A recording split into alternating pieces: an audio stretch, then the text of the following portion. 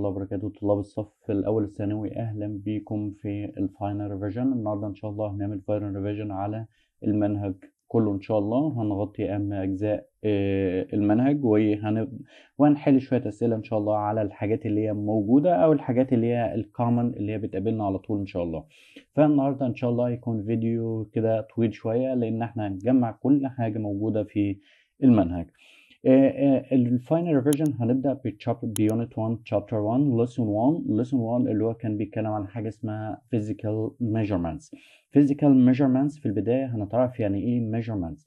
طبعا إحنا شرحنا measurements وشرحنا كل حاجة في فيديو لوحده فالنهاردة هنجمع كل حاجة على السريع كده ال measurements قلنا إن إحنا بنجيب حاجة unknown ونقارنها بحاجة known يعني حاجة مجهولة بحاجة معلومة of the same kind. فبنقول ال measurements it's comparing an unknown quantity with known quantity of its kind. يعني قارنا حاجة unknown حاجة ما نعرفش قيمتها with known quantity حاجة معروفة قيمتها of its kind. زي بالظبط لما نجيب مثلا أنا عندي pencil وال pencil عايزين نعرف ال length بتاعه فهنجيب ال ruler طبعا ده كده ال ruler فهيبقى ال ruler بالنسبة لنا دي known quantity وال pencil ده بالنسبة لنا unknown quantity. فهنقارن ال length ببعض فيبقى إحنا عملنا حاجة اسمها measurements. يبقى ال measurements ده comparing an unknown quantity with the known quantity of its kind. يعني بنقارن حاجة مجهولة بحاجة معلومة of its kind. طيب عشان نعمل measurements إحنا محتاجين ثلاث حاجات. أول حاجة اللي هي ال physical quantities. ده ال physical quantities ده الحاجة اللي إحنا عايزين نقيسها. يبقى ال physical quantities that we need to measure. يعني ده الكمية الفيزيائية اللي إحنا هنقيسها. number 2 اللي هي ال measuring tools ال measuring tools يعني ال tools اللي إحنا هنستخدمها. number 3 ال measuring units طبعا ال measuring units زي المتر زي السنتيمتر زي الكيلوجرام and so on ده كده ال measuring tool ال units اللي إحنا هنستخدمهم. يبقى إحنا اتعرفنا على حاجة اسمها measurements. عرفنا يعني إيه measurements وعرفنا ال key elements of measurements اللي هم ال physical quantities وال measuring tools وال measuring units. هنبدأ نتعرف على واحدة واحدة مع بعض. إيه ال physical quantities دي؟ ال physical quantities ده like length like mass like speed acceleration time اي حاجة من ال quantities دول فبنقول ان الفيزيكال quantities it's any quantity that can be measured and has a unit اي quantity ينفع اقيسها ولها unit بنسميها physical quantity يبقى ال physical quantity it's any quantity that can be measured and has a unit بنقسم ال physical quantities ل two parts عندنا حاجة اسمها fundamental physical quantities وعندنا حاجة اسمها derived physical quantities. إيه ال fundamental physical quantities دول اللي هم البيزك يعني ممكن نقول عليهم إيه؟ البيزك quantities يعني الكميات الأساسية. زي إيه؟ زي length زي عندنا كمان الماس و التايم دول كده بنسميهم fundamental physical quantities ليه بنسميهم physical fundamental physical quantities بنقول لانهم cannot be defined with other physical quantities تاني نقول cannot be defined with other a physical quantity with other physical a quantities يعني ده كميات أساسية ما ينفعش أعرفها بدلالة كمية فيزيائية أخرى فبنسميها cannot be defined with other physical quantities ما أقدرش أوصفها بدلالة كمية فيزيائية أخرى زي ال length ال mass ال time دول كده اسمهم fundamental physical quantities طبعا لما أجي أقيسهم طبعا ما بستخدمش ruler ولا بستخدم أي حاجة تاني إنما هنا derived physical quantities من اسمها derived يعني it's not basic it's not fundamental يعني حاجة مشتقة يعني can be derived can be can be defined with other physical quantities ده كده أقدر اعرفها بدلاله فيزي... كمية فيزيائية أخرى. For example like إيه؟ زي عندنا مثلا وليكن ال volume. ال volume عندنا اللي هو length times width times إيه؟ height. فعشان أقيس الفوليوم محتاج length width and height. فال volume هنا can be defined with length width and height. أقدر أعرفه بدلالة اللينث والويدث والايه والهايت for example مثلا وليكن السبيد السبيد equal distance over التايم في السبيد هنا can be defined with distance and the time فالدرايفد physical quantities بقول عليهم can be defined with other physical quantities can be defined with other physical quantities يعني اقدر اعرفهم بدلالة other physical ايه quantities دول كده بنسميهم ايه بنسميهم الفيزيكال quantities يعني عندنا fundamental وعندنا derived طبعا السؤال هنا بسيط قوي يجي يقول لي اي حاجة fundamental ليه أقول له cannot be defined with other physical quantities اي حاجة derived تقول له ليه لأن can be defined with other physical إيه quantities ده كده اول اول key element عندنا اللي هو الايه physical quantities. نيجي على ال second element اللي هو ال measuring tools طبعا ال measuring tools إحنا هنستخدم اللينث والماس والماس والتايم طبعا ال length إحنا بنقيس ال length بإيه؟ طبعا الموضوع بسيط قوي. ال length كان be measured by إيه طبعا زي ال ruler وزي ال tape وزي ال vernier caliper وعندنا كمان إيه؟ الماكرو meter micro يا شباب ميتر ده كده بنسميهم measuring tools of إيه length measuring tools of length. طبعا ال mass عندنا ال Roman scale Roman scale وعندنا كمان ال balance scale أو ال beam scale وعندنا كمان ال analog scale وال digital scale دول كده بنقول عليهم ال tools of إيه mass طبعا ال time عندنا ال hourglass ال hourglass طبعا وفي ال clock وال stopwatch وال digital watch ده كده ال measuring tools of length وال measuring tools of mass وال measuring tools of إيه time دول بسيط قوي سهلين جدا ما فيهمش أي حاجة. طبعا اللي إحنا عايزين نقف عنده شوية اللي هو مين ده؟ ده ال vernier إيه caliper إيه ال vernier caliper ده؟ ده اللي هو used to measure small length بنقيسه الحاجات الصغيرة قوي فلو إحنا ملاحظين زي ما اتعودنا وشفنا قبل كده إن ال scale إن ال vernier caliper ده عنده two scale ال scale الكبير ده اللي هو 0 10 20 ده ده بنسميه fixed scale fixed يا شباب scale وده بياخد X capital إنما 0 1 2 لحد ده ده ده بنسميه vernier scale vernier scale أو بنقول عليه sliding scale وده كان بياخد إكس سمول طيب ال fixed scale ده ال unit بتاعته بتبقى بالملي متر فلما نيجي نقيس طبعا بنشوف ال zero ده اللي هو بتاع ال vernier فين هنلاقيه between 30 وهنا كده طبعا بس ال scale هنلاقيه هنا في النص في الحتة دي كده في الحتة دي كده.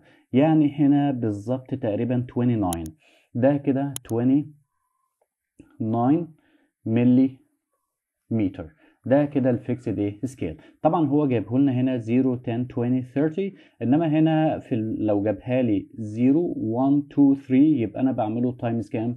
بعمله يعني ده هتطلع لي 2.9 فهو عاملها times 10 فهتطلع 29 ملي متر طبعا باجي بعد كده بقيس مين؟ بشوف ال sliding scale اللي هو بديله إكس سمول اللي هو تقريبا الدقة بتاعته وبشوفه عندي كام؟ وببدأ بضرب ده بضربه في 0.1 بعد كده بقيس ال length بقول ال length equal اللي هو ال fixed scale plus ال sliding scale وناخد بالنا إن ال result اللي طالع بيبقى بالملي متر طبعا لو قال لي هاتهولي بالسنتيمتر يبقى أنا هاخد ال result ده وأعمله divided 10 عشان أطلع ال result بايه بالسنتيمتر. ده كده بنسميه ال vernier scale أو ال caliper ال vernier calipers اللي هو to measure بنقيس به الحاجات الصغيرة قوي. يعني used to measure small length ده بيتقاس بيه السمول length. ويبقى كده خلصنا التاني key elements اللي هو مين؟ ال measuring tools. نيجي على ال measuring units ال measuring units طبعا ال units زي ما إحنا قلنا لو قلنا مثلا ال mass equal 5 فقلنا ده unknown quantity مش عارفين نعرفها. فلو عطلنا لو خليناها 5 مثلا وليكن كيلو جرام يبقى هنا ال unit دي ادتها المعنى بتاعها.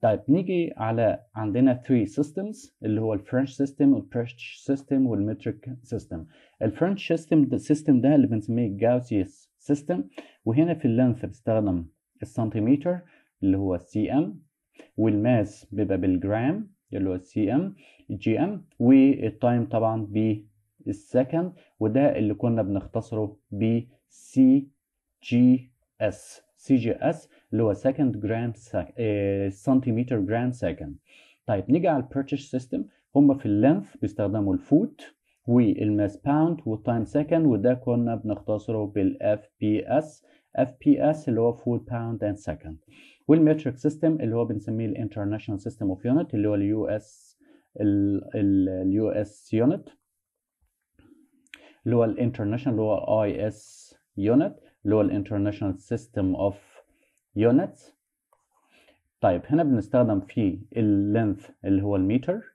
M وال mass اللي هو كيلو جرا كي كيلو جرام ده كده كيلو جرام اللي هو KG وال time طبعا إيه؟ ال second وده كنا بنختصره بال MKS اللي هو متر كيلوجرام second متر كيلوجرام and second ده كده ال measuring units اللي هم عندنا.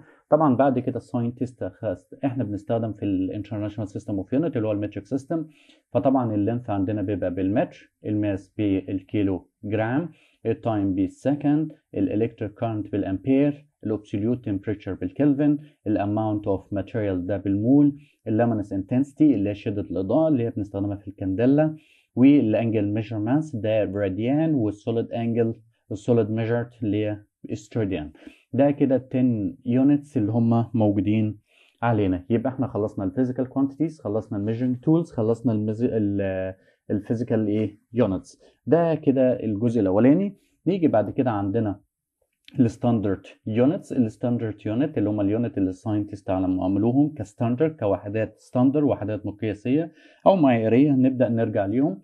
فمن هنا أول حاجة عندنا ال standard length أو بنسميه المتر standard length or متر وده جابوا rod طبعا ال rod ده made of platinum and iridium وعملوا two engraved marks at the end وقالوا ال distance دي كده هتبقى 1 متر يبقى ال standard length ده قالوا إن هو distance between two engraved marks at the end of the rod made of platinum and iridium alloy kept at 0 Celsius degree. ده كده اللي هو ال standard إيه؟ length أو بتسميه ال standard متر نيجي بعد كده standard mass أو بنسميه standard كيلو جرام هم جابوا cylinder ال cylinder ده made of platinum and iridium alloy.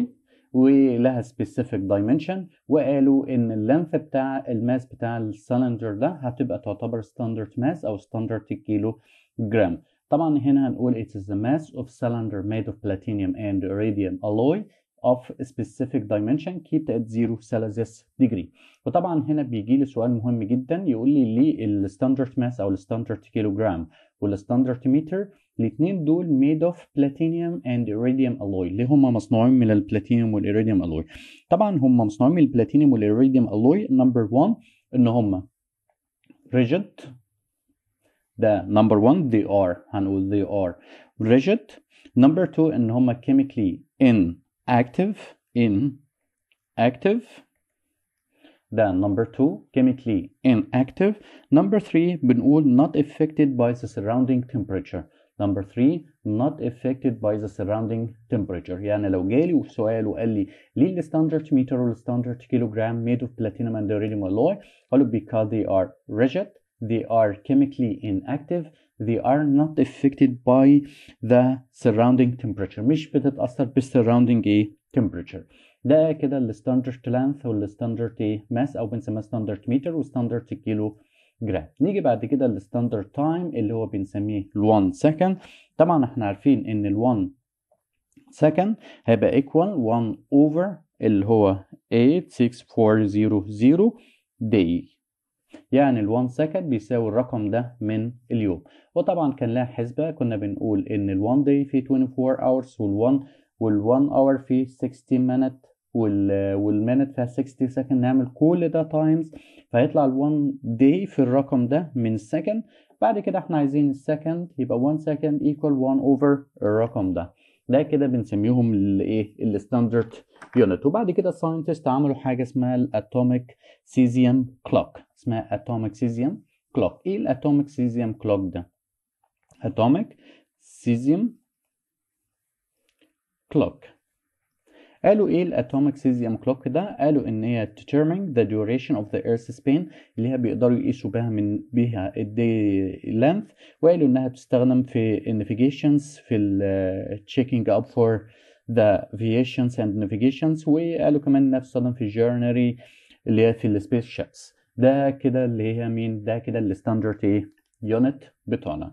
نيجي بعد كده أهم حاجة عندنا وده حاجة مهمة جدا جدا جدا اللي هي ال dimensional فورمولا إيه ال dimensional formula ده هنقف هنا شوية كده في ال dimensional formula قالوا إنها formula that expresses the, the derived physical quantities in term of fundamental physical quantities. يبقى إحنا بنعبر عن ال derived physical quantities اللي إحنا لسه اتكلمناهم عليهم من شوية في صيغة ال dimensional physical quantities fundamental physical quantities. كنا بنقول إن عندنا ال mass لازم بتبقى بالام كابيتال واللينث بيبقى بالال كابيتال والتايم طبعا ب التي كابيتال يبقى دول كده اللي إحنا بنستخدمهم الماس بالام اللينث بال التايم ب التي يبقى هنا ال dimension physical quantities بنقول إن ال derived physical quantities can be expressed in term of fundamental physical quantities.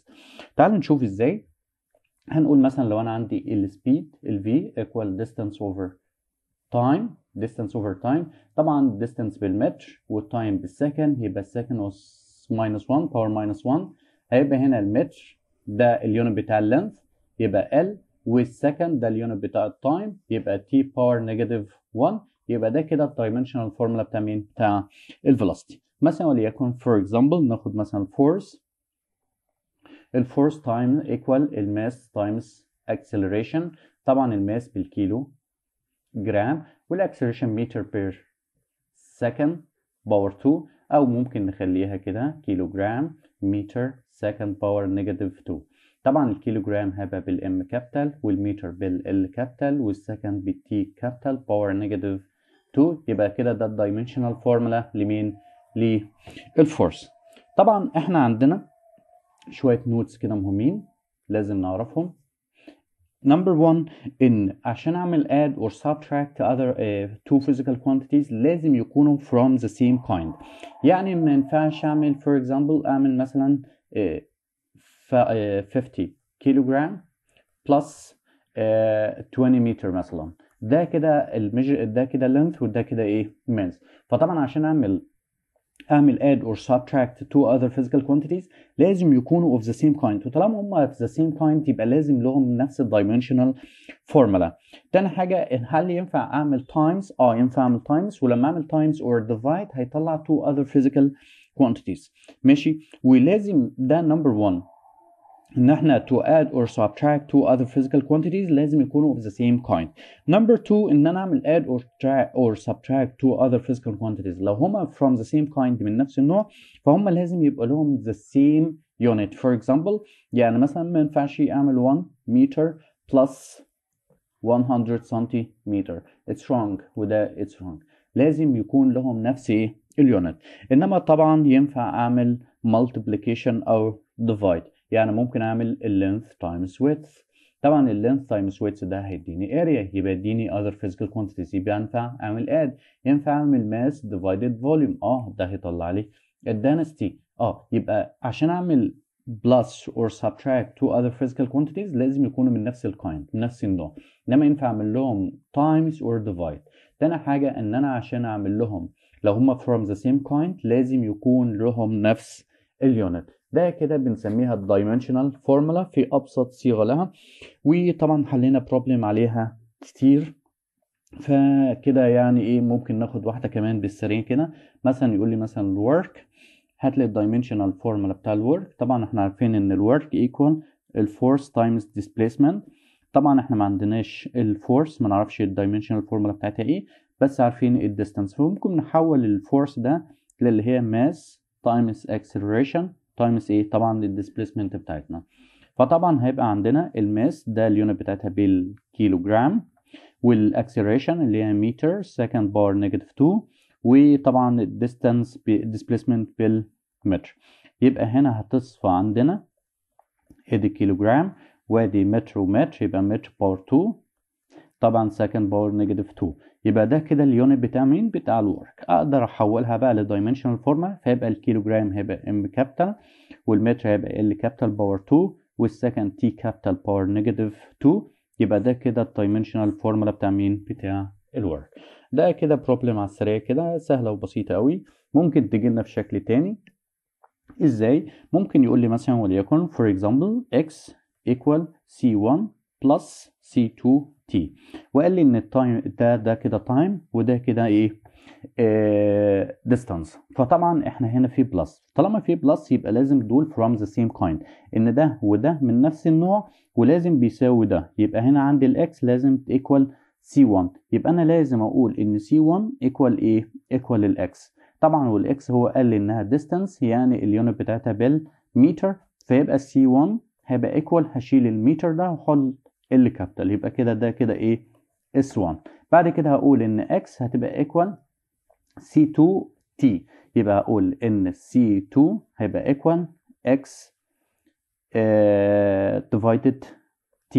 عشان أخلص من T ده طبعا هيبقى ده بالمتر وده بال second يبقى second power negative 1 فهيبقى C2 هيبقى equal المتر هيبقى L capital وال second T capital power negative 1 ده كده C2 يبقى كده إحنا عندنا two problems حليناهم على ال dimensional formula ده كده بالنسبة لنا ال dimensional formula في أبسط صورة وحلينا two problems عليها. ويبقى كده إحنا عملنا covering ل ل chapter 1 lesson 1 يبقى إحنا كده بالنسبة لنا lesson 1 كده يبقى done خلاص ما فيهوش حاجة تانية. ويبقى كده انهينا lesson 1 تعالوا نخش بقى على lesson 2 lesson 2 اللي هو بيتكلم على إيه؟ بيتكلم على types of measurement and measuring error. ناخد بالنا قوي في الحتة دي لأن الدرس ده فيه حاجة مهمة قوي طبعا في حتة ممكن تجي لنا في الأسئلة اللي هي المقالية. ممكن يسألني في ال error of measurements. إيه ال error of measurements اللي هي reasons of error measurements. no measurement is is correctly 100% يعني مفيش measurement 100% طيب زي قال لي إيه الأسباب بقى؟ قال لك choosing improper tool.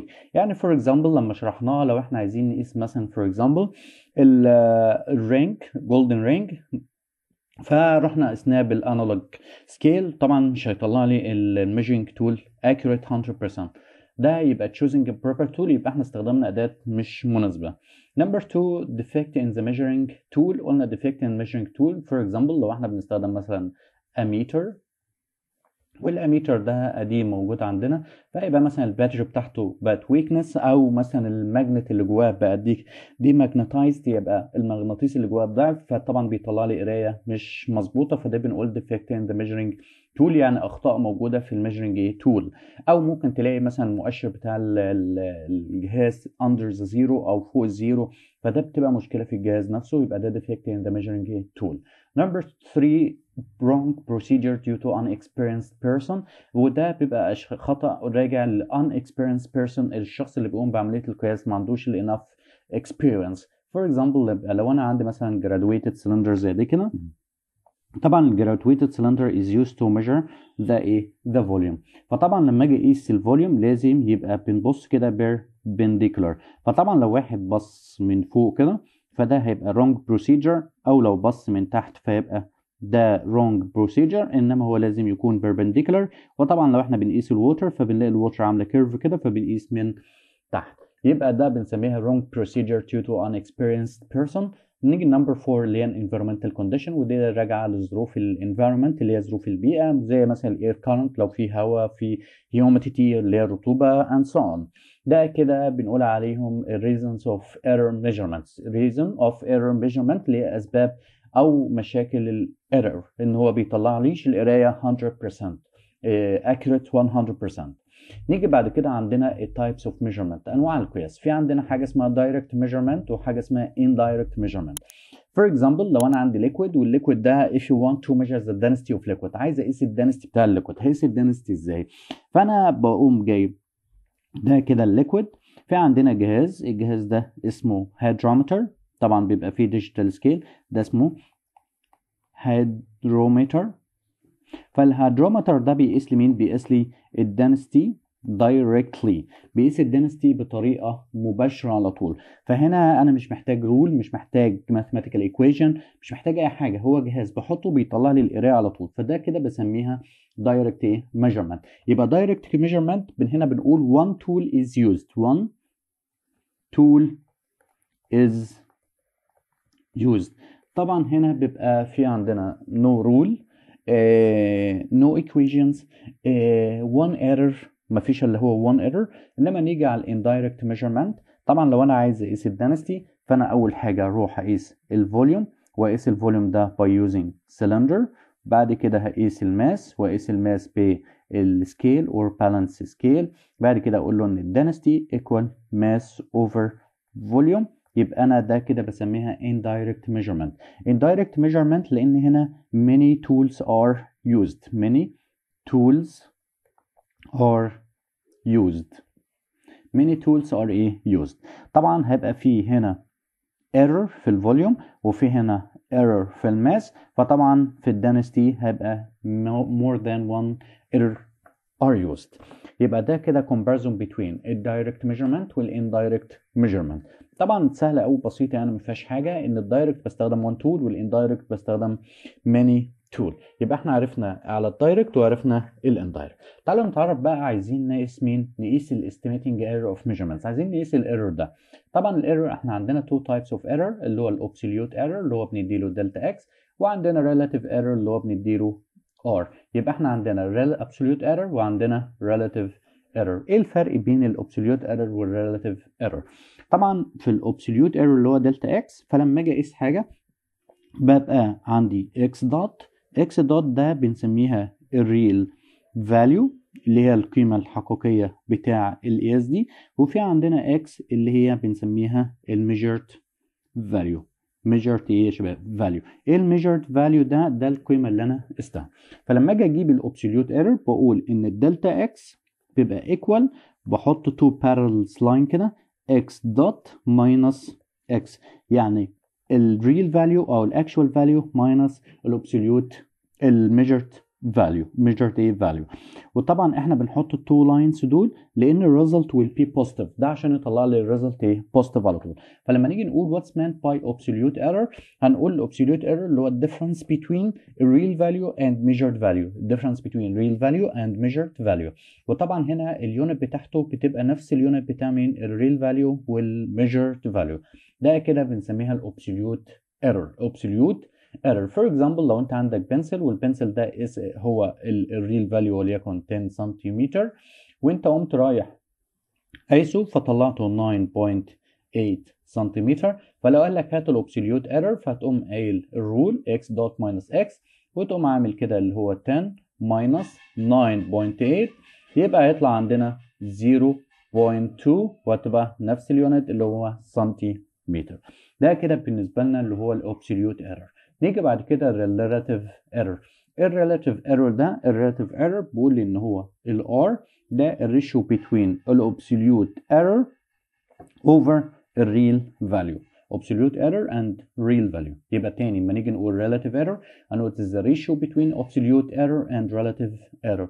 تعالوا نطبق ال problem اللي فات دي. طبعا هنلاقي عندنا هنا كده ال error اللي إحنا طلعناه 0.2 0.2 وال real value كانت 10 يبقى يطلع عندنا 0.02 وطبعا هنا كده it doesn't have unit ملهاش unit. ليه ملهاش unit عشان هي ratio between two physical quantities of the same kind. هي عبارة عن نسبة بين two physical quantities of the same kind. طبعا هنا طلعها لي 0.02 لو قال لي هاتها لي بال percentage فأقوم واخد ال number ده وعامله times 100 فيطلع 2 percentage يبقى relative error ده relative error وده absolute error طبعا which one is better to measure the the error ايهما افضل عشان نقيس ال error طبعا relative error is better than absolute error to measure the error إحنا بنفضل نستخدم relative error عن absolute error to measure the to measure the إيه the error طب ليه إحنا بنفضل relative error لأن على طول relative error ده always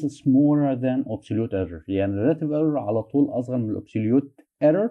وطبعا كل ما الايرور قل كل ما الميجرمنت بقت more accurate بقت إيه يا شباب accurate. ده كده comparison between الابسوليوت error and relative error. طيب ده كده اللي إحنا عملناه ده بنستخدمه في حالة واحدة بس اللي هي لما بنكون بنستخدم direct measurement direct measurement. طب المشكلة بقى عندنا لو إحنا بنستخدم indirect measurement. طبعا indirect measurement هيبقى عندنا كام احتمال؟ عندنا أربع احتمال. عندنا أربع احتمالات. طبعا هيبقى يا إما plus يا إما subtract يا إما divide. هيبقى عندنا أول حاجة اللي هي summation اللي هي ممكن يبقى plus أو ممكن يبقى subtraction أو multiplication أو division. طيب الاثنين دول اللي هو ال sub ال addition وال subtractions دول نفس الخطوات مفيش فرق بينهم. وهنا كده ال multiplication وال divide الاثنين برضو زي بعض مفيش فرق بينهم. طيب تعالوا نشوف ال subtractions ونطبق على كل واحدة problem مثلا وليكن قال أنا عندي mass 1 equal وليكن for example 10 plus or minus 0.1 جرام وقال لي mass 2 equal 20 plus or negative 0.2 جرام وقال لي هنا مثلا هات لي M1 plus M2 طبعا في ال subtractions أول حاجة بنجيبها بنجيبها اللي هو ال sub ال summation بتاعهم يعني M1 plus M2 ده أول step بنجيبها.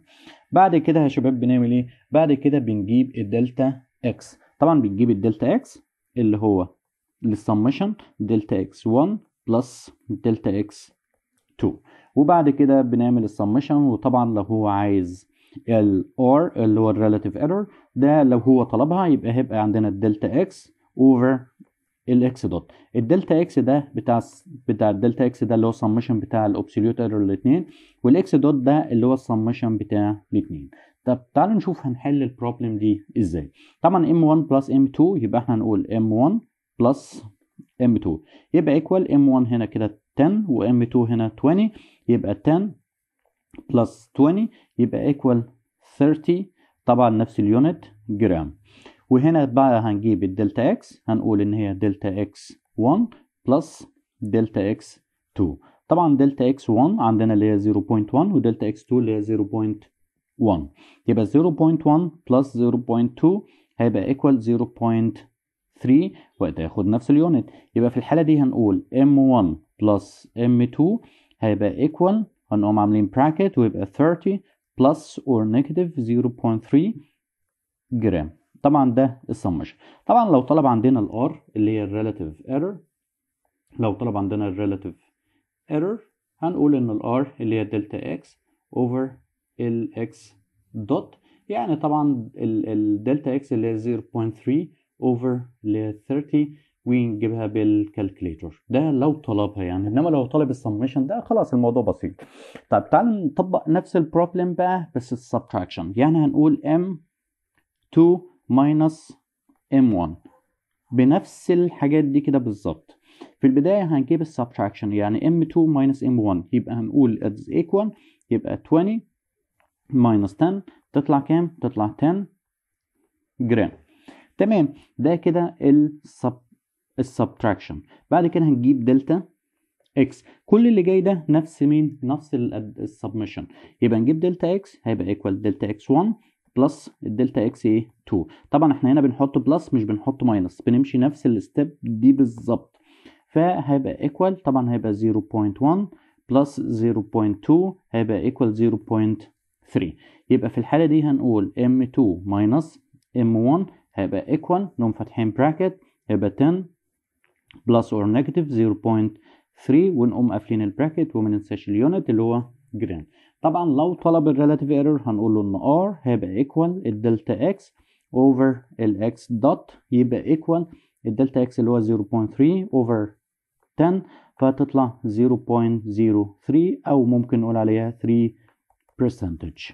ده كده ال summation وده كده ال subtraction تعالوا نشوف ال ال division ال multiplication طبعا ال multiplication وال division الاثنين زي بعض بالظبط.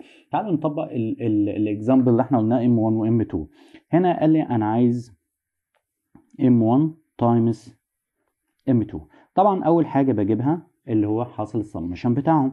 بعد كده هنا بقى ما ينفعش هنا في ال subtraction وال addition كنا بنبدأ بال delta x هنا ما ينفعش. هنا هبدأ بال R فبقول إن ال R equal R1 plus R2 بس أنا في مشكلة إن أنا ما عنديش لا R1 ولا R2 فهجيبها إزاي؟ هبدأ أقول إن R1 هيبقى equal delta x1 over x dot 1 وأقول إن R2 هيبقى equal delta x2 over x dot 2 وبعد كده أعملهم plus. ومنها بعد كده هقول إن إن ال delta x هيبقى equal ال R x dot.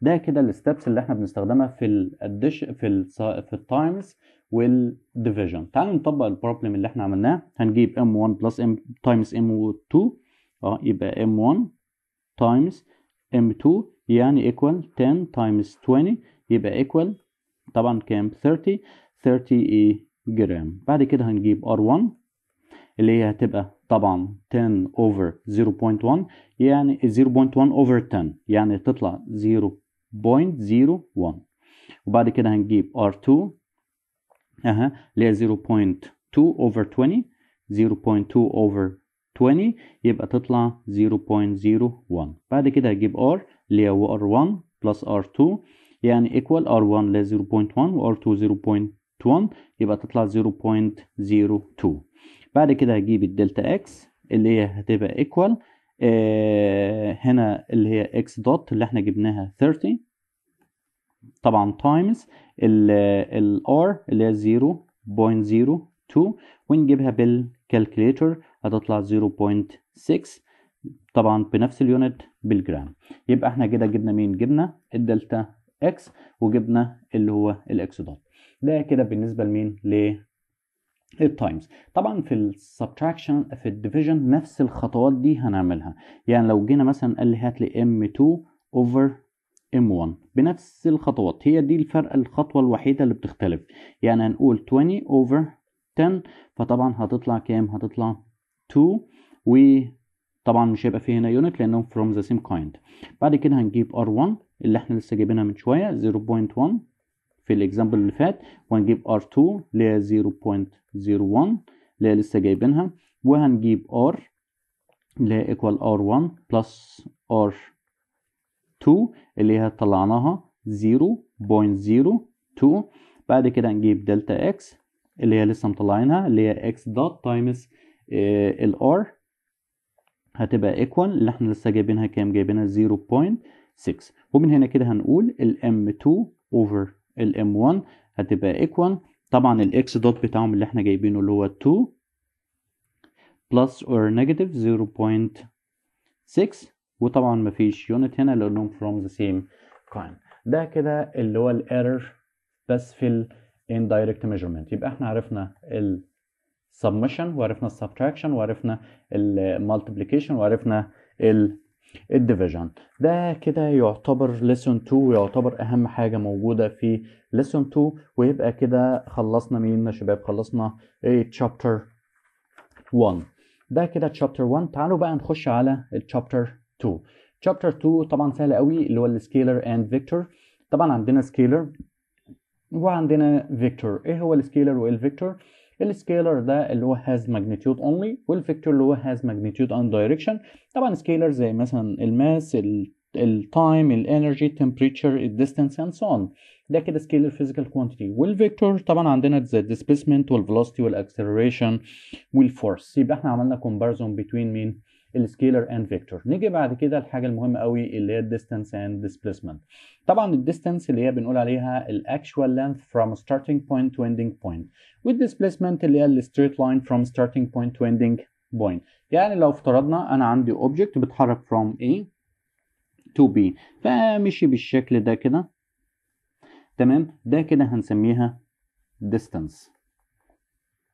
تمام لو إحنا عايزين displacement بناخد ال straight line from starting point to ending point يبقى ده كده displacement فبنقول ال distance اللي هي actual length وال displacement اللي هي shortest distance أو shortest length from starting point to ending point وعشان نحل مسائل ال distance وال displacement فال distance طبعا بنجمع كل حاجة انما ال displacement بحدد ال starting point وحدد ال ending point واعمل بينهم straight line عشان اطلع مين ال displacement for example وبنقول إمتى ال distance equal ال displacement يعني لو أنا عندي ال distance تبقى equal ال displacement ده إمتى ال distance equal displacement لما ال object بيتحرك في straight line يبقى لو ال object اتحرك في straight line يبقى ال distance equal displacement ولو ال object return back يعني افترضنا إن ال object مشي كده بعد كده رجع كده بعد كده كده وبعد كده رجع لل starting point تاني يبقى في الحالة دي بنقول إن ال displacement equal zero يبقى لو ال object returns back to its starting point يبقى displacement equal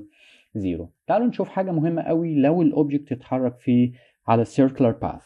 على circular path يعني اتحرك على circumference. فهنا عندنا أربع احتمالات يا إما ال object يعمل 1 revolution يعني لفة كاملة يا إما يعمل quarter يا إما يعمل 3 quarter يا إما يعمل half quarter. خلوا تعالوا نخلي دي ال half الأول ونخلي ده 3 quarter. يبقى في عندي كم احتمال؟ أربع احتمال. طيب لو ال object ده عمل 1 revolution يعني عمل لفة كاملة هنفترض إن ال object ده اتحرك بالشكل ده كده. فعمل start from A ونهى عند A فعمل لفة كاملة ده كده ال center وده كده ال radius اللي هو R. طب هل قال لي هات ال distance وال displacement طبعا ال distance في الحالة دي بقول إنها equal circumference اللي هي 2 π R لأنه عمل لفة كاملة. وال displacement في الحالة دي هتبقى equal 0 ليه 0 لأنه returns back to its starting point. ده في حالة لو ال object عمل 1 revolution. طب في حالة لو عمل quarter revolution يعني تعالوا نشوف كده. عندي ال object اتحرك from A ل B. ده كده ال radius R وده كده ال center فهنا طبعا ال distance بنقول إن ال distance في الحالة دي equal ال circumference اللي هو 2 π R.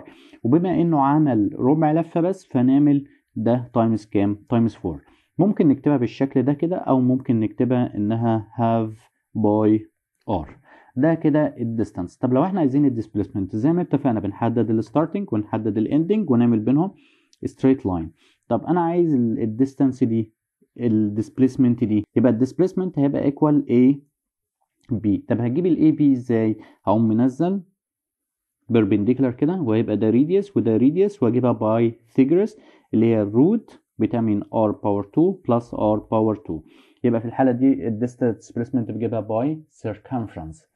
طيب لو عمل ربع لفة تعالوا نشوف. ادي السيركمفرنس هيتحرك from A to B. طبعا هيمشي بالشكل ده كده وده كده السنتر وده كده الراديوس ففي الحالة دي بنقول إن السنتر equal زي ما اتفقنا circumference 2 by r وهنا عمل نص لفة فهنعملها times 2 فممكن نعملها كده أو ممكن نقول إنها π r على طول. طيب وال displacement بقى في الحالة دي زي ما اتفقنا ال starting point وال ending point نعمل بينهم straight line ده R وده كده R يبقى في الحالة دي ال displacement هيبقى equal 2r ده كده لو ال object عمل إيه؟ عمل half revolution عمل ربع لفه طب لو عمل 3 quarter revolution تعال نشوف. هيتحرك from A to B. يبقى مشي بالشكل ده كده. ده طبعا عندنا ال center وده عندنا ال radius يبقى في الحالة دي بقول إن ال distance بقول على طول ال circumference اللي هو 2 π R وبقى عمل 3 quarter يبقى عمل 3 over 4 ممكن أعملها كده أو ممكن أخليها 3 over 2 π R ممكن اكتبها بالشكل ده أو ممكن اكتبها بالشكل ده لأن في النهاية بحط numbers وبعوض عنها. نيجي بقى بعد كده اللي هي مين؟ ال displacement ال displacement هعمل إيه؟ هعمل straight line from starting point to ending point اللي هو هيبقى A B. طب أنا عايز A B. هنزل هنا perpendicular ويبقى ده radius و radius يبقى هنا هعمل أجيبها by Pythagoras اللي هو root power 2 plus root power 2 يبقى إحنا كده جبنا ال distance وال displacement ال object بيتحرك فين؟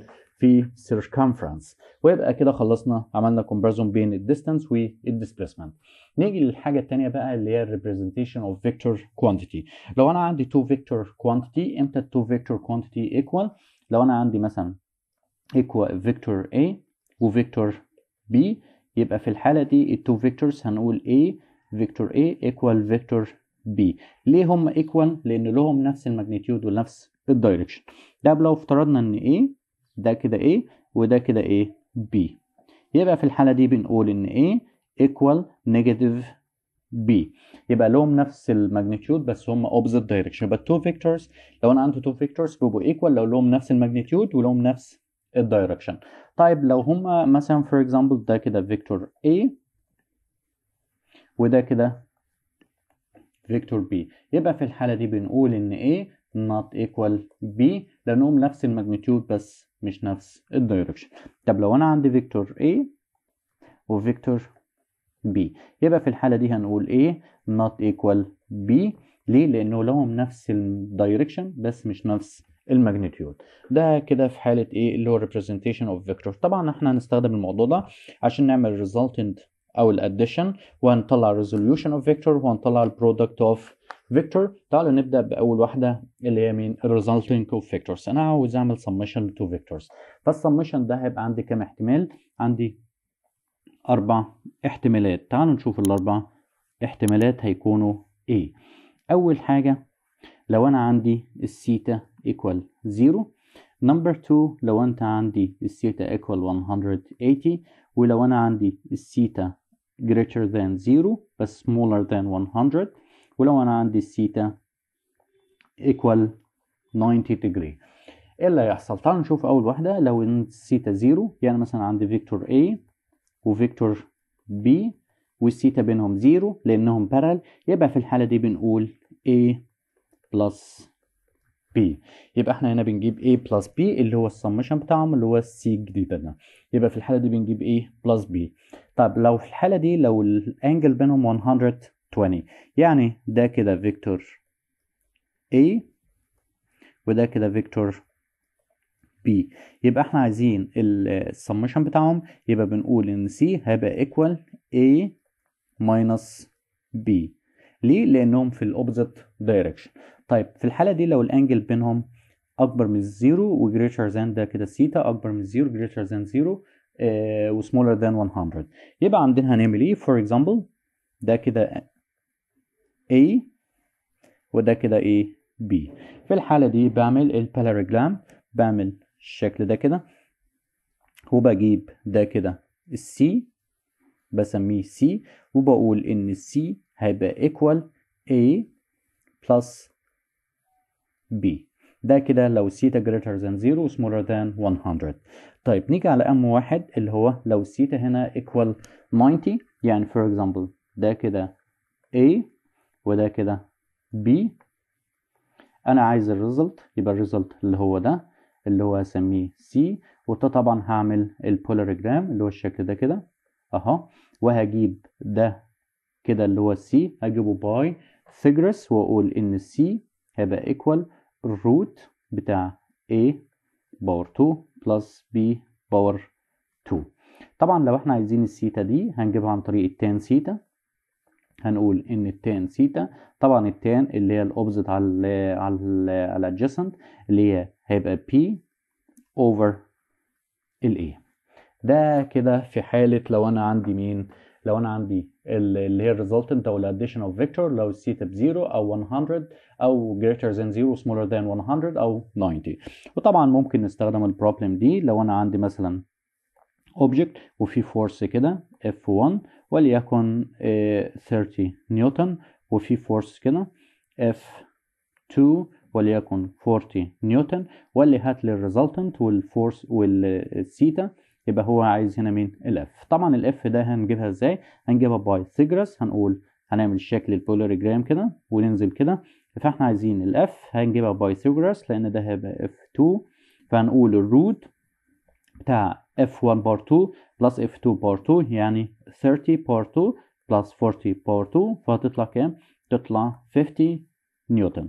ولو عايز السيتا فهنقول إن ال tan theta هيبقى equal كام يا شباب؟ ده كده على ده يعني 40 over 30 ونجيبها بال calculator وبعد كده ناخد shift tan ونجيب مين؟ السيتا ده كده أول حاجة اللي هي عندنا مين؟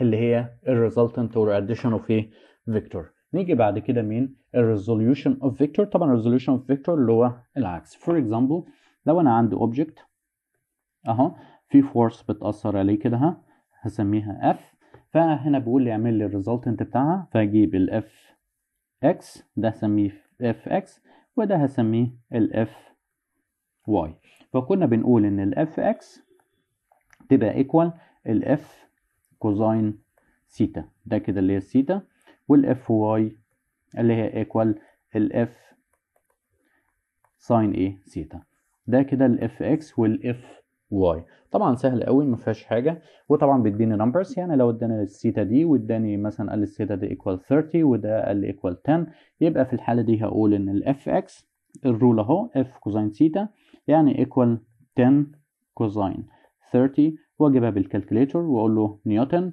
واجيب ال F Y هقول له اللي هي ال rule F sine theta يعني 10 sine 30 واجيبها بال calculator واقول له نيوتن. ده كده مين؟ ده كده عندنا ال F X وال F Y ده كده بنسميه ال resolution of vector ده كده resolution of إيه vector نيجي بعد كده اللي هو ال product of vector ال product of vector طبعا عندنا حاجتين اتنين يا إما ال product ده يا إما عندنا scalar product يا إما عندنا vector product تعالوا ناخد الفرق بين الاثنين ال scalar product أو ال dot product فبنقول إن A dot B طبعا هيبقى equal AB cosine theta AB cosine theta ولو عايزين ال vector product أو ال cross product فبنقول إن A cross B هيبقى equal AB sine theta وما ننساش ال n إيه direction لأن ده vector ده كده ال scalar product وده ال vector product وامتى؟ في حاجة مهمة قوي. إمتى نقول إن A dot B equal A cross B إمتى الاثنين دول equal هنقول إن الاثنين دول equal لما يكون ال theta equal 50 45 ليه لأن cosine 45 equal sine 45 ده كده اللي هو ال product ال product vector سواء ال scalar أو ال vector نيجي على آخر حاجة بقى في ال unit اللي هي ال hand right rule ال hand right rule ده بنستخدمها في إيه اليوسج بتاعها. اليوسج بتاعها إنها to define the direction of the vector product. ماشي؟ وبنقول define the direction of vector product أنا عندي two vector ده vector بسميه vector A وده كده بسميه vector B ده كده A وده كده B فيبقى ال thumb ده اللي هو A cross B A dot B فاحنا هنا بنقول hand rule إن هي to define the direction of the vector of the vector C of two vectors A and B. ده كده نهاية unit 1 ويبقى كده خلصنا unit 1 نيجي بعد كده على unit 2 unit 2 chapter 1 lesson 1 بيتكلم على ال motion يعني إيه motion بنقول ال motion اللي هي the change of an object to position as time passes. ده ال definition بتاع مين؟ ال motion عندنا two types of motion. عندنا حاجة اسمها transitional motion وعندنا حاجة اسمها periodic motion. إيه الفرق بين ال transitional motion وال periodic motion لو أنا عندي مثلا car ال car ده اتحركت from A وصلت ل B فده كده يبقى لها starting point ده كده بسميها ال starting point وده بسميها ending point يبقى هنا في الحالة دي بسميها transitional motion يبقى transitional motion اللي هي the motion of an object from starting point to ending point اللي هي الحركة from starting point to ending point وممكن تبقى في straight وممكن تبقى projectile زي ده كده انها تمشي في curve أو تمشي في straight ده كده اللي هي transitional motion إنما هنيجي في ال periodic motion زي مثلا pendulum ال pendulum ده بيعمل إيه؟ طالع كده وبعد كده بينزل فده كده بنسميها oscillatory motion. وال oscillatory motion ده بتعتبر periodic motion لأنها regularly repeat itself in equal periods of time. بتعيد نفسها عن equal period of time. ده comparison between transitional motion وال motion. نيجي بعد كده عندنا مين؟ الفيلوسيتي الفيلوسيتي ده الفيلوسيتي طبعا بنقول the rate of a change of displacement it is the rate of a change of displacement وبنقول ان ال V equal delta D over delta T ومنها ان ال velocity equal displacement over التايم ده كده ال velocity طبعا اليونت بتاعتها meter per second والdimensional formula بتاعتها L T power negative 1 ده كده ال velocity فبنقول عليها it is the rate of a change of a distance displacement the rate of change of displacement تاني it is the rate of change of displacement تعالوا نعمل comparison between the speed وال velocity طبعا السبيد هنغير كلمة واحدة هنقول the rate of change of distance the rate of change of distance انما هنا it is the rate of change of displacement هنا السبيد طبعا equal distance over time انما هنا velocity طبعا equal displacement over time طبعا السبيد scalar Quantity إنما ال velocity طبعا إيه؟ vector quantity. طبعا ده ال unit بتاعتها meter per second وهنا برضو meter per second هنا ال dimensional formula L T power negative 1 هنا L T power negative 1 ده كده comparison سريعه بين ال speed وال velocity سهله قوي ما فيهاش حاجة. نيجي بعد كده types of velocity. عندنا two types عندنا uniform and non-uniform. إيه الفرق بين ال uniform وال non uniform بنقول uniform إن ال object covers equal distance at equal periods of a time. تاني body covers equal distance at equal period of a time. لما نيجي نعملها graph بنعمل relation بين هنا time per second وهنا كده ال displacement per meter فهتطلع straight line كده. ده كده بنسميها uniform velocity وبنجيب ال slope بنقول إن ال slope هيبقى equal delta d over delta t وطبعا ال slope هنا هيبقى equal مين equal velocity ده كده بنسميها ال uniform velocity ال uniform velocity يعني ال object equal distance at equal periods of a time. طب ال non uniform velocity هنقول إن ال body covers equal unequal distance at equal period of a time. لما نيجي نعملها graph هنعمل relation between ال time وال displacement فهيطلع طبعا إيه؟ curve كده فهنا بنسميها non uniform velocity لأن ال object covers unequal distance at equal of a time. طب لو إحنا عايزين نعمل ال ال نجيب ال slope بتاع ال curve ده. فكنا بنحدد point كده ونعمل لها tangent يعني ال straight line كده وبيبقى touching لل curve وبناخد 2 points هنا كده. وكنا بنجيب ال slope ده فبنقول إن ال slope ده هيبقى equal delta d over delta t وده بيبقى equal ال velocity بس equal ال velocity فين؟ في ال point دي equal ال velocity في ال point دي وده بنسميها اللي هي بنقول عليها instantaneous velocity. instantaneous velocity يعني instantaneous velocity يعني ال velocity at a given time. ده كده كنا بنسميها instantaneous velocity. إيه ال instantaneous velocity ده؟ اللي هي ال velocity at a given instant. يعني ال speed أو ال velocity في لحظة معينة. ده كده بنسميها ال uniform ده كده ال non-uniform وده كده بنسميها ال instantaneous velocity طبعا في كمان عندنا اللي هي ال average velocity كنا بنقول إن ال average velocity equal ال total distance over ال total time. ده كده بنسميها ال average velocity طبعا في عندنا ال average velocity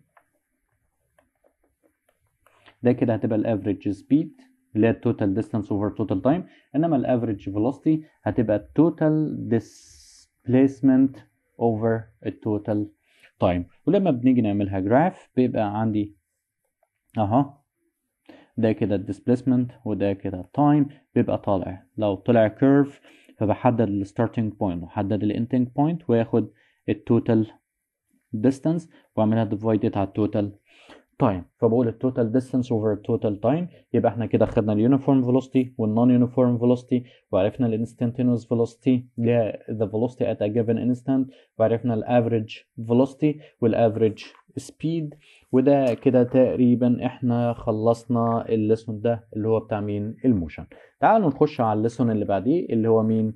ال acceleration طبعا عندنا يعني إيه acceleration بنقول ال acceleration اللي هي it is the rate of a change of velocity it is the rate of a change of velocity تاني it is the it is the change of velocity with time أو just the rate of change of a velocity طبعا ال acceleration بنديلها a اللي هي equal delta v over ال delta t يعني vf minus vi over ال time طبعا ال VF اللي هي ال final velocity وال VI اللي هي ال initial velocity وال time اللي هو مين ال time طبعا ال unit بتاعتها بتبقى متر per second power 2 وال dimensional formula بتاعتها اللي هي ال t power negative 2 ده كده مين ال acceleration فبنقول ال acceleration is the change of velocity with the time. وال acceleration v final minus v initial over time?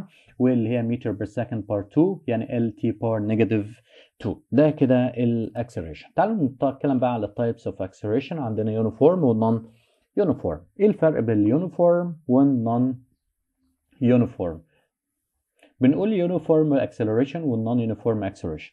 الuniform acceleration is the acceleration of an object when a body covers equal distance at equal period of a time. يبقى في الحالة دي ال speed changes by equal values at equal period of a time. تاني ال speed changes by equal values at equal period of time. طيب وفي الحالة دي لما بنيجي نعمل جراف هنعمل between التايم والvelocity هيطلع عندي straight line. ده في حالة لو ال object start from zero يعني ال VI equal zero. وطبعا في الحالة دي بنقول إن ال slope هيبقى equal delta V over delta T ويبقى equal ال acceleration طبعا ولو ال object ما بدأش من ال zero اللي هنا اللي هي T وهنا هنعمل ال V فطبعا هيبقى straight line كده. وده كده اللي هي هتبقى ال VI اللي هي الحتة دي كده. وهنقول برضو نفس الكلام إن ال slope هنا كده. ال slope هيبقى equal delta V over delta T وهيبقى طبعا ال acceleration. ده كده بالنسبة لنا إيه؟ اللي هو ال uniform acceleration نيجي على non uniform acceleration. هنا بنقول speed changes by equal value through unequal period of time أو unequal values at equal period of time. ولما نيجي نعمل graph هنعمل between ال time و ال V. هيطلع عندنا curve كده. طبعا لو إحنا عايزين ال slope فباجي عند point واعمل tangent واجيب ال slope بتاع من ال tangent ده وبقول إن ال slope هيبقى equal delta V over delta T هيبقى equal ال acceleration وال acceleration at this point اللي هي instantaneous acceleration.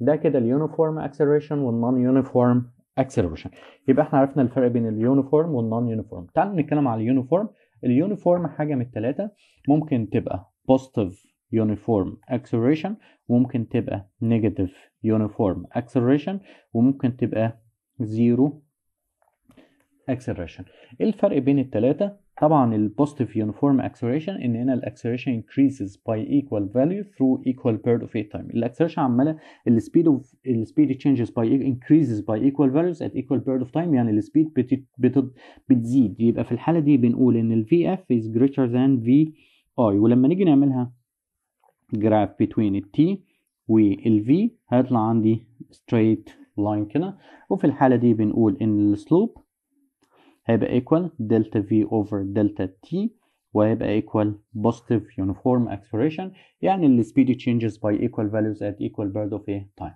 إنما negative negative uniform acceleration يبقى هنا ال speed decreases by equal values at equal period of time وفي الحالة دي بنقول إن ال VF طبعا هتبقى smaller than VI وهنيجي نعمل graph between T وال V. طبعا هيبقى كده.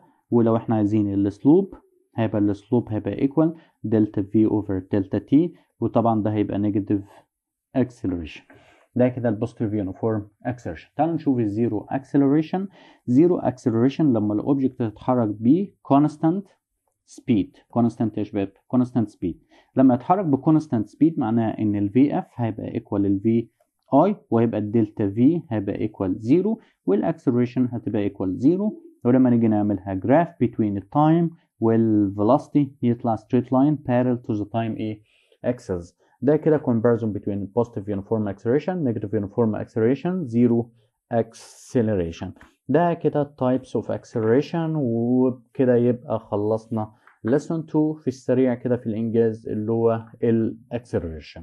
ده كده chapter 1 lesson 1 و lesson 2 تعالوا نخش على chapter 2 chapter 2 اللي هو بيتكلم على equation of motion. طبعا عندنا 3 equation of motion. تعالوا ناخدهم الثلاثة كده. ال equation الأولى بيقول لي إن ال VF equal VI plus ال AT طبعا بنرسم graph بين ال VF وال T أول واحد وآخر واحد. وهيبقى هنا كده ال VF وهنا ال T. طبعا لو ال VI equal 0 هيبقى من هنا كده. ونجيب ال slope طبعا ال slope في الحالة دي هيبقى equal ال acceleration طب لو ال object ده ما بدأش من ال zero يعني كده بالظبط. هنا كده ال VF بقى هنا كده يبقى الحتة دي هيبقى ال VI وهنجيب ال slope هيبقى نفس الكلام هيبقى equal ال acceleration ده كده ال equation الأولى. تعالوا نشوف ال equation الثانية بقول إن ال displacement equal ال VIT plus ال half A T power 2 هنيجي نرسم graph بنرسم بين أول واحد وآخر واحد اللي هو ال D وهنا ال T power 2 طبعا هيطلع straight line كده. في الحالة دي هو بدأ من ال zero يبقى ال VIT في الحتة دي ال zero اللي هي دي ال VIT هيبقى equal ال zero وهنا كده بنجيب ال slope وفي الحالة دي ال slope هيبقى equal اللي هو delta D over delta T power 2 وهيبقى equal ال half acceleration ولو ال object ده ما بدأش من ال zero يبقى هنا T power 2 وهنا ال D فهيبقى كده بالظبط. والحتة دي كده اللي هي هتبقى equal ال VIT وطبعا بنجيب ال slope برضو بنفس الطريقة هيبقى equal ال half A ده كده ال equation التانية. نيجي على ال equation التالتة اللي هو بيقول لي ال VF power 2 equal VI power 2 plus 2AD هنا هنرسم بين ال VF power 2 وال D. هيطلع إزاي؟ هنا ال D هنا ال VF power 2 هيطلع straight line. هنا ال VI power 2 هيبقى equal 0 وهنجيب ال slope. وال slope هيبقى equal 2A طب لو ال object ما بدأش من ال zero دي وال VF power 2 بدأ من هنا كده يبقى الحتة دي كده هيبقى ال VI power 2 وطبعا بتجيب ال slope وهيبقى بنفس الاسلوب ال slope هيبقى equal 2A يبقى في الايكويشن الأولى السلوب كان ايكوال الأكسلريشن والايكويشن الثانية السلوب ايكوال الهاف اكسلريشن وال equation الثالثه ال slope equal 2 acceleration. ده كده بنسميهم ال equation of motion equation of motion طبعا في ال equation of motion لازم أكون حافظ الثلاثه وبعد كده ببدأ في الحل. هبدأ أشوف هو طالب مني إيه هتعتمد على ال given وال needed الحاجات اللي هو مديها لي والحاجات اللي هو طالبها. وبناء عليه هبدأ أحل ال problem فطبعا في. هنا ال equation of motion لازم نكون حالين عليهم problem كتير والموضوع بتبقى سهلة يعني هي بتحتاج بس لإيه؟ لفهم إن إحنا نفهمها. ده كده lesson 1 نيجي للل lesson اللي بعديه اللي هو ال free fall ال free fall يا إما هينزل لتحت كده يا إما هيطلع projectile لفوق. طيب في الحالة دي لو نزل free fall يبقى ال VI هيبقى equal zero وهنا لو طالع لفوق يبقى ال VF هيبقى equal zero ده عند ال maximum height وفي الحالة دي كده ده كده وهو نازل ال G بتبقى ب 9.8 meter per second power 2 اللي هي ال acceleration أو ممكن تقريبا نقربها و 10 meter per second power 2 على حسب ما هو بيديها لي. وهنا طبعا بيبقى against gravity فال G بتبقى بال negative فتبقى negative 9.8 meter per second power 2 وطبعا بنطبق عليهم ال equation وبدل ما نقول acceleration هنبدأ نقول gravity acceleration فهنقول ال equation الأولى. هيبقى عندي في ال equation الأولى اللي هي ال VF هيبقى equal ال VI plus GT وال equation الثانية اللي هي دي هيبقى equal ال VI T plus ال half GT power 2 وال equation الثالثه اللي هي ال VF power 2 هيبقى equal ال VI power 2 plus ال 2GD طبعا نفس الفكرة بتاع مين بتاع ال equation of motion وبنبدأ نحل عليهم والموضوع سهل بس بتحتاج إن هما إيه يتفهم. وطبعا وطبعا بيبقى عندنا لو إحنا عندنا مثلا for example إن object عملنا له project upward فيطلع لل maximum height وبعد كده يبدأ ينزل كده. فطبعا لو جينا نعمله graph بين ال D T فنلاقي وهو طالع كده. هيوصل ل maximum height ففي الحالة دي بيبقى ال velocity بتاعته zero وبعد كده هيبدأ ينزل تاني. تمام؟ ده كده هنا change في ال displacement with time change with displacement where time. طب لو إحنا عملناها بين ال time و ال V بالمتر per second طبعا هو بادئ ب speed كبيرة هيبدأ ال speed تقل تقل تقل تقل لحد ما توصل لل zero وبعد كده هيبدأ ينزل تاني فال speed بتاعته هتزيد. طبعا ال speed عند maximum height ده اللي هي هتبقى ال VF هتبقى equal VI وهو نازل وهنا كده ال VI وهو طالع هتبقى equal ال VF وهو نازل. فده كده ال graph بتاع ال object سواء طالع أو نازل. نيجي بعد كده بقى لل projectile لما يكون ال object بيتحرك فين في 2 dimension إيه لما بيتحرك في 2 dimensional يعني ال object بيتحرك في كده؟ في angle اهو طبعا أهم حاجة عندنا بنجيب مين؟ هو طالع كده بيبدأ ب VI فبنجيب ال VI هنجيبها في الاكس اكسس وال Y axis فبنقول إن ال VIX هيبقى ال V I cosine theta ده أهم حاجة وال VIY هيبقى equal ال VI sine theta ده كده أهم حاجة موجودة عندنا. وناخد بالنا إن ال VIX equal ال في اي ال في اف واي ال في اف إكس ده كده حاجة مهمة. ولو إحنا عايزين ال final velocity اللي هي ال VF هيبقى equal ال root بتاع مين؟ بتاع ال VFX power 2 plus ال VFY power 2 تمام؟ ولو إحنا عايزين ال time طبعا ال time هو طالع هيبقى negative ال VIY over G ولو إحنا عايزين ال total time يبقى ال total time هيبقى 2 T يعني equal negative 2 VIY over G ده كده ال time ده كده ال time هو طالع أو هو نازل وده كده ال total time. تمام؟ ولو إحنا عايزين ال height اللي هو ال H هيبقى equal negative VIY power 2 over 2 G ده اللي هو ال height اللي هو ال maximum height اللي هو ده. تمام؟ ولو إحنا عايزين ال ال R اللي هو ال displacement دي يبقى إحنا عندنا ال R هنبدأ نجيبها بأكتر من rule اللي هي ال VIX T اللي هي equal إن إحنا ممكن نشيل ال T ونحط قيمتها اللي هي 2 VIX T وممكن نشيل ال T ونحط قيمتها يبقى negative 2 في اي إكس في اي واي اوفر جي اللي هي ممكن تبقى equal negative 2 VI power 2 طبعا cosine theta sine theta over G ده طبعا كل ال rules اللي موجودة فين؟ في ال lesson.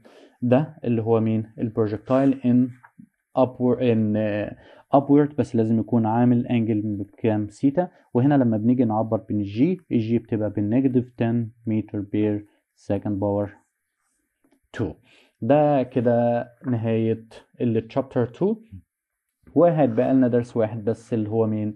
الفورس اند موشن تعالوا نتكلم على الفورس اند موشن طبعا الفورس اند موشن بنقول فورس اللي هي external influences that affect an object to change its state or state of motion or direction طبعا عندنا نيوتنز first law نيوتنز first law بيقول لي ان ال static object keeps its state of rest a state of rest and a moving object keeps its state of motion at a uniform velocity in a straight line unless acted upon by a resultant force يعني for example لو أنا عندي object اهو وفي هنا ده كده F1 وهنا كده F2 يبقى في الحالة دي بقول إن F1 equal F2 يعني two forces equal in magnitude and opposite direction ففي الحالة دي بنقول إن resultant force equal 0 و resultant force equal 0 في حالة لما ال object يكون at rest أو الأوبجكت ده بيتحرك بإيه uniform velocity uniform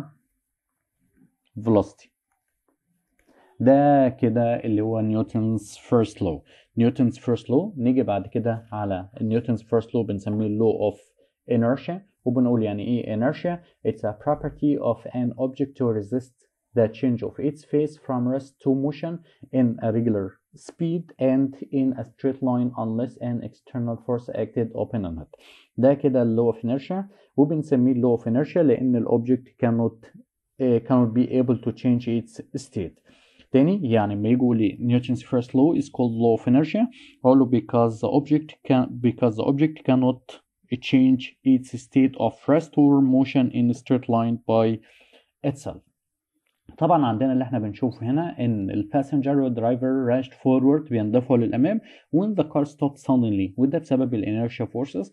وكذلك برضو لو ال car move suddenly يبقى ال passenger rush backward. كل ده بسبب مين؟ بسبب ال inertia force. نيجي بقى ده ال passenger and the driver in the car are rushed forward. if the car suddenly stops ده نقول بسبب مين؟ ال inertia force. نيجي لنيوتن third law. نيوتن third law بيقول لي إيه؟ For every action there is a reaction equal in magnitude and opposite direction.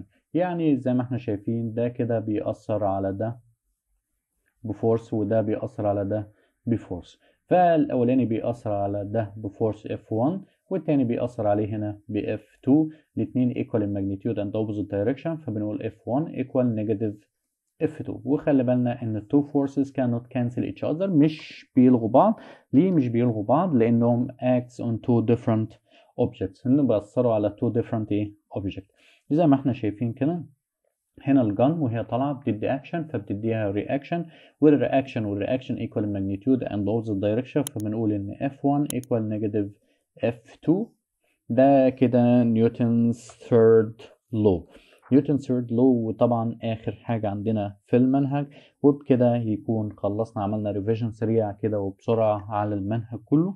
فيا رب تكونوا استفدتم ولو عجبك الفيديو متنساش like share subscribe وأشوفكم على خير إن شاء الله. والسلام عليكم ورحمة الله وبركاته. ويا رب بالتوفيق.